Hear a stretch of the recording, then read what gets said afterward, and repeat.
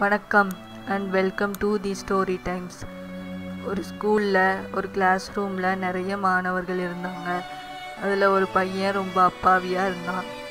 எல்லாருக்கும் அவனை ரொம்ப கிண்டல் பண்ணி சிரித்து கேலி செஞ்சாலும் அவன் அமைதியாக அதை எல்லாத்தையும் ஒன்றுமே சொல்லாமல் கேட்டுட்டு இருப்பான். ஒரு நாள் எல்லா மாணவர்களும் சேர்ந்து அவன் முதுகுக்கு பின்னாடி நான் முட்டாள் அப்படின்னு எழுதி குட்டி விட்டாங்க அவனை கிண்டல் பண்ணி பின்னாடி அதை பார்த்தவங்க எல்லாரும் சிரிச்சிட்டே வந்தாங்க.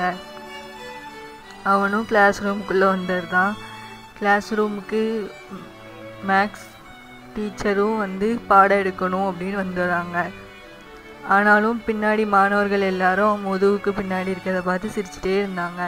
கிளாஸும் போயிட்டுருக்கு உடனே திடீர்னு டீச்சர் எந்திரிச்சு இது இந்த செம்மை யாராவது சால்வ் பண்ணுவாங்க அப்படின்னு சொல்கிறாங்க எல்லாரும் ஒருத்தர் ஒருத்தர் பார்த்துட்டு யாருமே போகல உடனே அந்த பையன் மட்டும் நான் வந்து சால்வ் பண்ணுறேன்னு சொல்லி முன்னாடி வராங்க.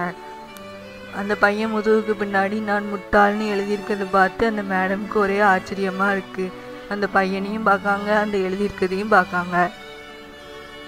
அந்த பையன் தான் கவனிச்சதை வச்சு அந்த செம்மை சால்வ் பண்ணிட்டு வரான். கடைசியில் சால்வும் பண்ணி முடிச்சிடுறான் அந்த டீச்சருக்கு ஆச்சரியமாக இருந்துச்சு. தம்பி உன் பின்னாடி இப்படி நான் முட்டாள்னு எழுதியிருக்கு அது உனக்கு தெரியுமா? அப்படின்னு கேட்டாராம். இல்லை எனக்கு தெரியாது அப்படின்னாங்களாம். இதை செஞ்சது யார்? அப்படின்னு அந்த மாணவர்கள்கிட்ட கேட்டாங்களாம். எல்லாரும் அப்படியே முழிச்சிட்டு இருந்தாங்களாம். நீங்கள் அவன் பின்னாடி இப்படி நான் முட்டாள்னு எழுதியிருக்கலாம். ஆனால் இந்த செம்மை உங்கள் யாராலையும் சால்வ் பண்ண முடியலை. அந்த பையன்தான் எந்திரிச்சு வந்து சால்வ் பண்ணியிருக்கான் உண்மையிலே புத்திசாலி அந்த பையன்தான். நீங்கள் எல்லாரும் தான் முட்டாள் அப்படின்னு எல்லா மாணவர்களையும் திட்டினாங்களாம். இதே மாதிரி தாங்க நம்ம முதுகுக்கு பின்னாடி யார் என்ன பேசினாலும் நம்ம அதை பற்றி கவலைப்படக்கூடாது. நம்ம செய்கிற செயல் மூலமாக அவங்களுக்கு பதில் சொல்லணும். நன்றி. வணக்கம்.